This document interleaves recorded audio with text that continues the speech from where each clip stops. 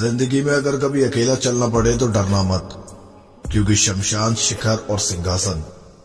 इन तीनों पर आदमी अकेला ही होता है